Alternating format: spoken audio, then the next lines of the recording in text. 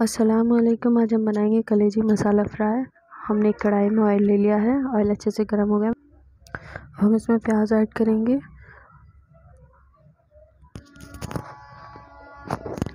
हमारी प्याज अच्छे से फ्राई हो गई है।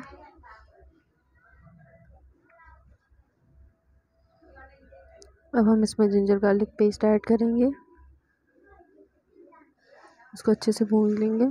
उसी के साथ हम अपनी कलेजी ऐड कर लेंगे, जिससे कि इसमें कोई स्मेल ना आए। अदरक, लहसुन के साथ ये भुन जाती है तो कोई स्मेल नहीं आती है।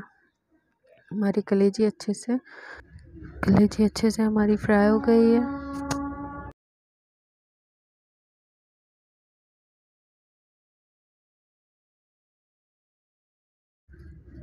अब हम इसमें पाउडर मसाले ऐड करेंगे। धनिया पाउडर ज़ीरा पाउडर गरम मसाला, चाट मसाला। लाल मिर्ची, कश्मीरी लाल मिर्च, हल्दी, नमक। इसे हम खूब अच्छे से मिला लेंगे। कलेजी के साथ हमारे मसाले अच्छे से भुन गए। अब हम इसमें मोटी वाली हरी मिर्च ऐड करेंगे, जो कि फीकी होती हैं। ये तेज़ नहीं होती हैं।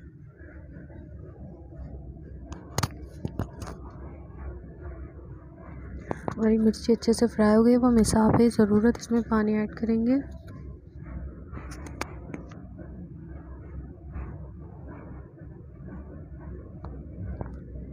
अब हम इसे ढककर 10 से 15 मिनट पकने देंगे स्लो फ्लेम पर। हम बीच में इसे चेक कर लेते हैं।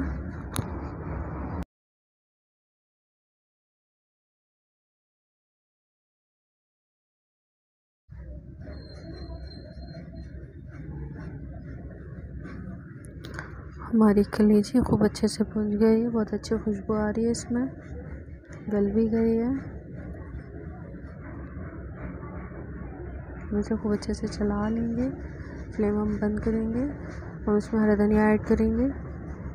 हमारी कलेची बन के तैयार है। काफ़ी इन्जॉय करो। Like share comment and subscribe अल्लाह हाफिज़।